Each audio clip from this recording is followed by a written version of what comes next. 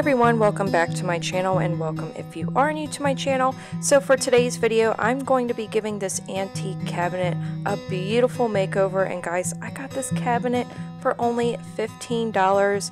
in Goodwill. Now I've seen these cabinets go on Facebook Marketplace for a lot more. It's definitely a little rough looking, but all it needs is a little bit of love, which is what I'm going to go ahead and give it. So I'm going to start off by giving this entire cabinet a good first coat of paint using the Waverly chalk paint in the color Celery.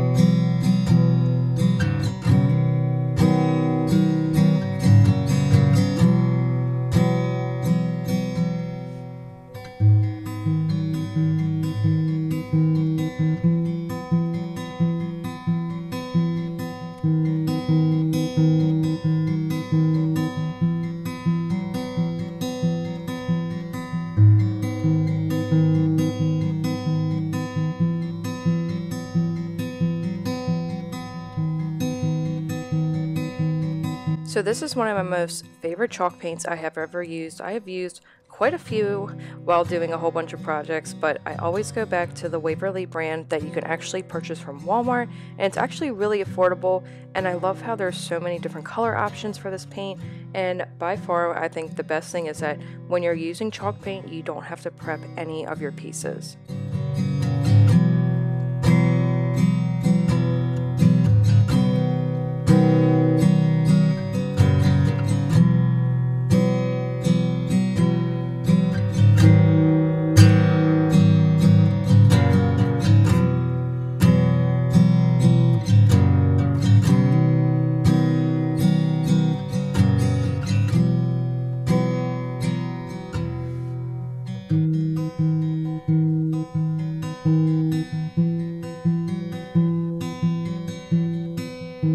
So this is what one coat of paint looks like on the cabinet so far, and I'm going to go ahead and just add another coat because it still looks a little rough.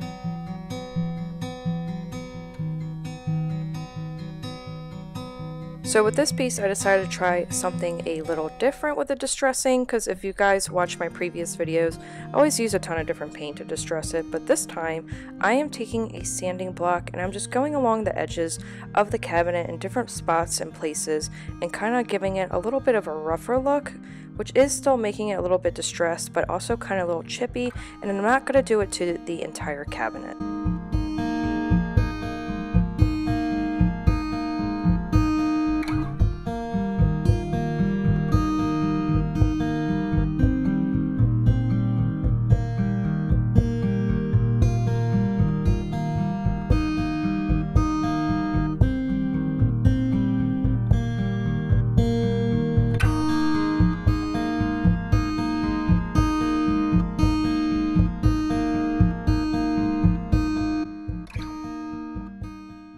So now I'm going to be using the Waverly Chalk Paint Varnish in the finish matte and I'm going to go ahead and apply it to all of the cabinet and then when I do the shelves and the very top piece I always like to do about two to three coats just because I'm going to have things sitting on it.